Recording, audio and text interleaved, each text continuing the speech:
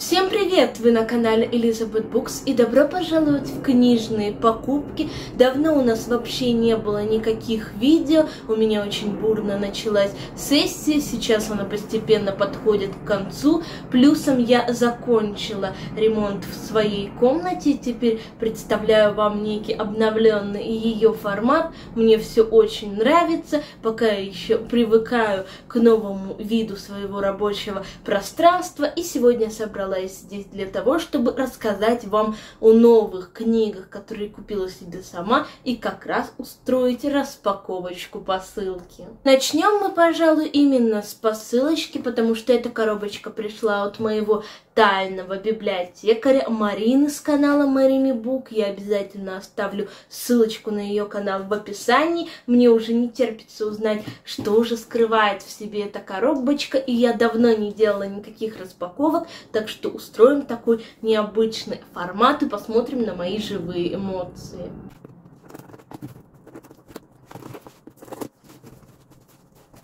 Лучше я не буду показывать, как зверски вскрывала упаковку, а начну сразу же с содержимого. И открывая первый слой, я сразу же вижу тут наклейки. Наклейки, которые мне всегда, конечно же, нужны для того, чтобы оформлять ежедневник. Я подсела сейчас на это занятие. Мне очень нравится заниматься всякими оформительными штучками. Я всегда стараюсь как-то красиво оформить разворот на неделю. Сейчас, правда, в период сессии у меня и это остановилось, однако теперь у меня есть вот такие прекраснейшие мистические коты. Кстати, очень хорошие наклейки. Я часто видела, как у меня знакомые, подружки заказывали что-то от этой фирмы, как показывали, как это все смотрится в ежедневниках. И мне очень нравится вот этот сет это коты, но в такой мистической тематике. Я, конечно же, все потом поближе подсниму, но уже первый подарок в этой посылочке мне безумно нравится. Особенно вот эти два переплетенных котиков. Все очень мистическое и очень атмосферное. Далее тут идет открыточка с посланием, которое я, разумеется, прочитаю, но не вслух, а за кадром. Это такое милое послание. Я всегда собираю открыточки, которые кто-то мне присылает, письма, и люблю их потом перечитывать, потому что это необычайный заряд энергии, заряд эмоций, который остается с тобой потом очень надолго. Нашла я тут стикеры, стикеров много не бывает, и далее я обязательно вам подсниму. Тут очень-очень много сладостей, сладостей много не бывает, и здесь вот прям все, что я люблю. Я обожаю вот эти батончики, я обожаю всякие кислые мармеладки, которые облеплены сахаром. Все это ко мне, все это мое, и я это с удовольствием поглощаю. Книжка подарок от моего тайного библиотекаря тоже оформлена в таком кошачьем стиле. Тут котики, но кажется, да, вот так тут котики, и я не могу вот по формату прощупать, что это за книга. Возможно, это какой-то роман, точно роман, потому что у него вот такой корешок, как будто бы это что-то от издательства Азбука. Вот у них такие корешки, их прощупываешь, и можно по форме, она такая полукруглая у них, определить, что это именно их книга, потому что у остальных издательств, ну, на мой личный вкус, э, корешки немножечко заостренные. Вот тут тут какой-то более кругленький. Так что давайте аккуратненько как-нибудь вскроем эту книжку. И давайте я попробую ее достать так, чтобы первыми обложку увидели вы если она, конечно, достанется и дастся мне в руки. А, все, придется все равно рвать не сумела я сохранить первоначальный вид упаковки, но все же. Я надеюсь, я обложкой правильно ее держу. Это издательство Азбука, моя любимейшая серия «Большие книги». Это Федор Достоевский и его «Подросток». Книга, к слову, недавно вышла, я рассказывала о ней а, в каком-то из видео с книжными новинками, и тут даже есть внутри закладочка, закладка с картиной Ван Гога. Очень красиво, Марина. Безумно благодарна тебе за такой подарок.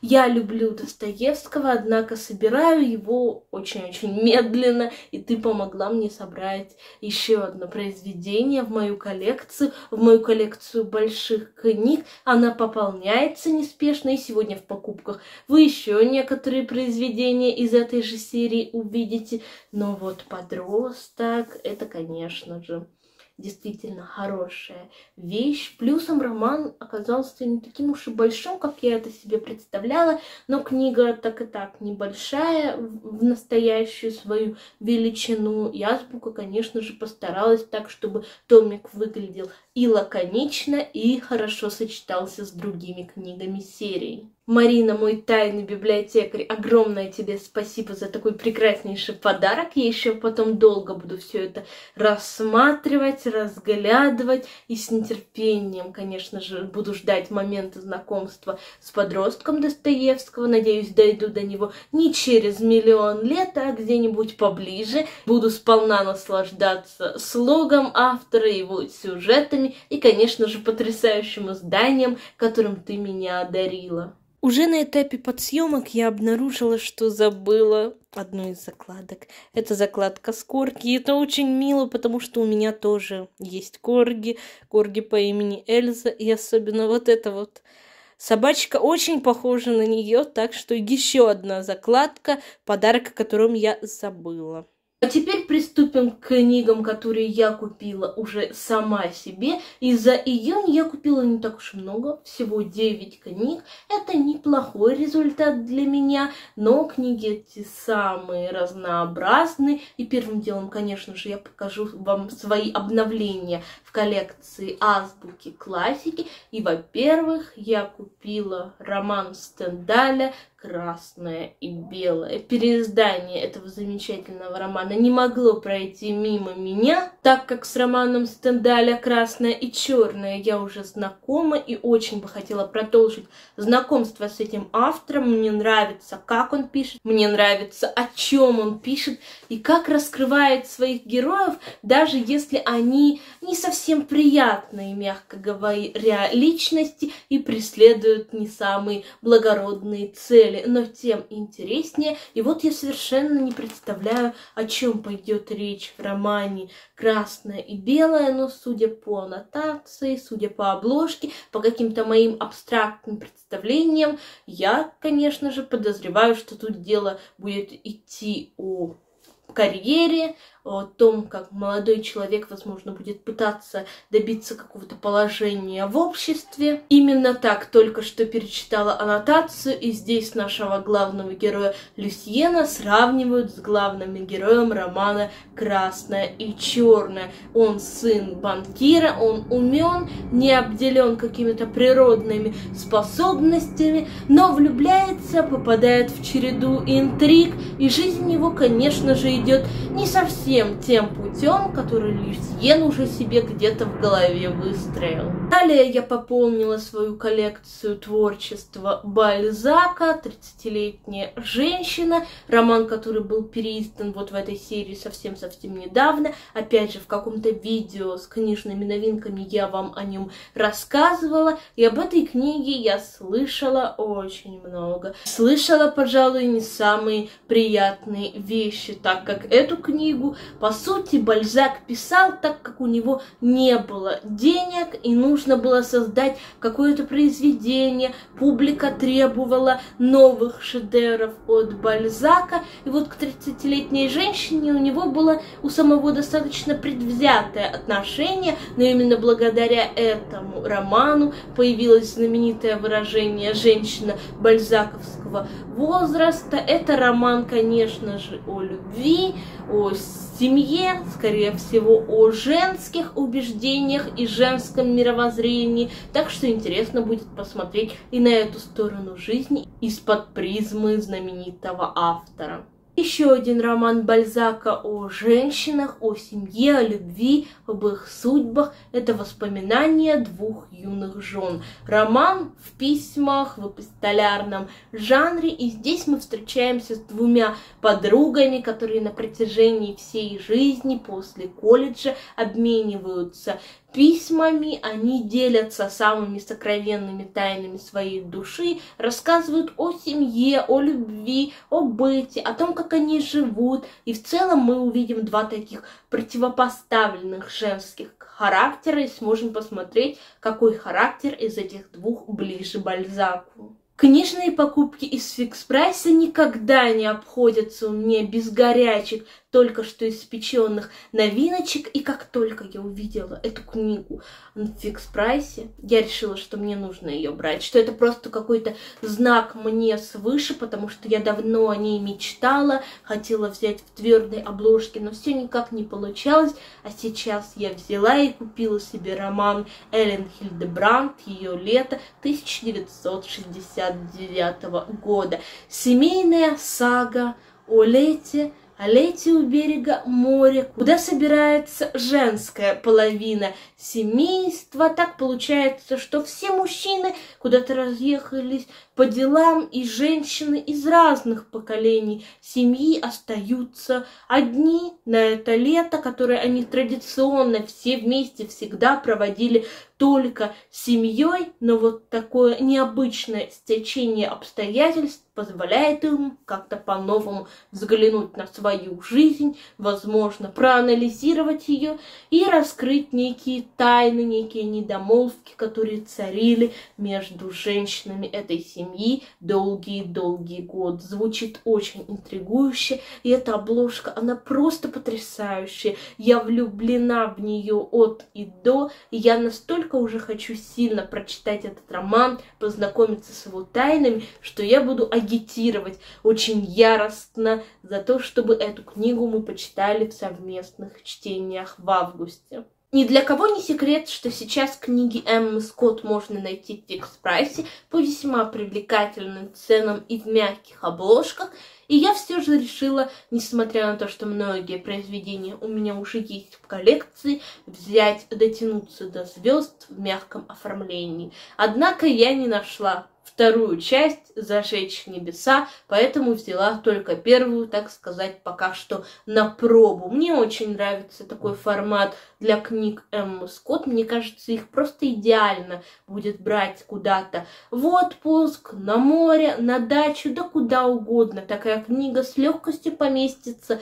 у вас в рюкзаке или даже в дамской сумочке. Я ничего не знаю о содержании этой диалоги, слышала только, что здесь, как всегда, у Эммы Скотт по классике, две израненные души, парень и девушка. И парня тут, насколько я помню, призывают в армию куда-то в горящую точку, и девушка осознает в этот период свои истинные чувства к нему. Почитаем, узнаем, не знаю пока, когда точно доберусь до этого произведения Эммы Скотт, но надеюсь, что весьма скоро. Обещанная порция произведений из серии «Большие книги» подарки от моих замечательных книжных фей. И, во-первых, это Изабель Альенде и ее Дом духов. И я так загорелась прочитать Дом духов после знакомства с романом Виолетта. Виолетта это последний вышедший на русском языке роман из-под пера Изабель Альенде. И сейчас я столкнулась с тем, что многие ругают роман Виолетта, говорят, что он очень слабый, какой-то недоработанный, сухой. Однако для меня, мне кажется, это прекраснейший вариант для того, чтобы познакомиться с автором. Она показывает жизнь, да, возможно, несколько схематично, но это воспоминание, воспоминание человека, который прожил огромнейшую жизнь, и это сделано было в невероятных художественных деталях, и теперь под таким большим впечатлением от первого знакомства я, конечно же, взялась за Дом Духов. Слышала, что здесь очень много магического реализма, и пока что я настраиваю себя на такую волну, что здесь он будет, что мне предстоит читать книгу в жанре магического реализма, а я небольшой фанат таких историй и читала их довольно мало. Однако это прекраснейшая сочная обложка, аннотация и любовь к Виолетте меня подпитывает на то, чтобы я поскорее взялась и за это произведение тоже. Как вы знаете, я большая фанатка историй о Шерлоке Холмсе. Эти произведения Артура Конан Дойла навсегда в моем сердце. Я люблю различные киноадаптации Шерлока Холмса, каждая из которых мною нежно любимая. Я пересматривала их по нескольку раз каждую. И вот я решила, что уже пора как бы обзавестись оформлением Шерлока Холмса в издании больших книг. Поэтому сразу же знак четырех, первый из четырех томиков, которые посвящены Шерлоку Холмсу, теперь у меня на полочках. Я не собираюсь на этом останавливаться, но так как я уже читала всю серию, которая посвящена известному детективу, конечно же, я буду покупать книги постепенно, по мере необходимости, по потребностям своим. И, к слову, мне очень повезло, потому что это еще старое оформление больших книг, одно из моих самых любимых, и, конечно же, особый шарм оно придает и рассказам о Шерлоке Холмсе. Мне кажется, это будет потрясающее погружение, когда я начну перечитывать этот цикл, а я когда-нибудь все же настроена взяться за это дело. И здесь меня особенно порадовали форзацы с некоторой схемой помещения и порадовали примечания, записки самого автора, его размышления. Об этом мне хочется узнать побыстрее, возможно, я на досуге что-нибудь вырву из контекста и почитаю отсюда. Словно мы злодеи, потрясающее новое переиздание МЛ Рио в новом переводе. Я долго думала, нужно ли мне все-таки приобрести эту книгу, эту историю, так как у меня есть уже книга в изначальном переводе, который у нас первым выходил на русском языке. Но я слышала, что там достаточно много огрехов, что-то было вырезано, поэтому я приняла решение все-таки пойти на такую сделку и приобрести себе в коллекцию книгу и вот в таком прекраснейшем оформлении. Мне очень нравится вот эта обложка с отсылками на шекспировские трагедии, на шекспировские пьесы. Как я понимаю, тут и Гамлет, и Король Лир. Я жду нечто интересное, нечто очень атмосферное в духе такой мистической академии. И, конечно, что здесь будет много литературы, будет много много размышлений о книгах, о творчестве писателей. Надеюсь, это я получу сполна. Последняя книга, которую сказать по правде я не собиралась читать, однако судьба расположилась иначе и небольшая предыстория. У нас в университете есть полочка буккроссинга, полочка, которая предназначена для обмена старыми или же не понравившимися книгами. Я оттуда уже несколько раз брала некоторые произведения, рассказывала вам об этом. И вот совсем недавно приезжаю я на экзамен и вижу, что кто-то оставил там лисьи броды Анны Стробинец. Я знала об этой книге, знала, что это весьма громкая новинка в русском современном литературном мире.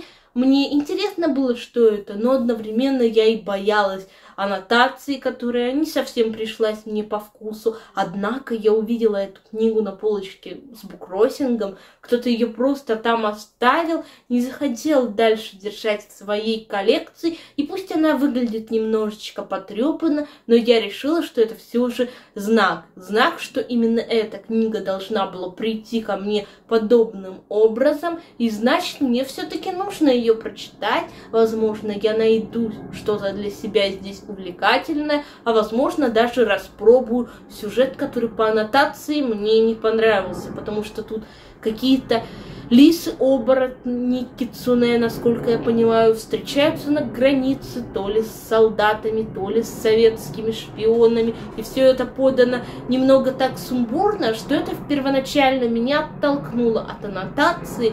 Но вот я посмотрела на оформление этой истории, полистала ее и все-таки подумала, что надо взять нужно поместить эту книгу в свою коллекцию, и, возможно, когда-нибудь я до нее доберусь. И это были все книжные покупки за последнее время. Еще раз огромное спасибо Марине за такой потрясающий подарок. Я сейчас пойду еще его порассматриваю, понаслаждаюсь этим приятным ощущением, когда тебе что-то дарят, что-то оформленное с душой. Пойду расставлю новые книги на свои полки, полюбуюсь, как они будут там смотреться. И, к слову, я думаю о том, чтобы сделать еще тур по книжным полкам в ближайшее время. Если вам интересна такая затея, то обязательно пишите в комментариях. Ну а с вами, как всегда, была Элизабет Букс. Увидимся мы совсем-совсем скоро уже в новых видео. Если вы что-то читали из этой стопочки, можете поделиться своим мнением в комментариях, то я буду вас там ждать. Ну а на сегодня все и всем пока-пока!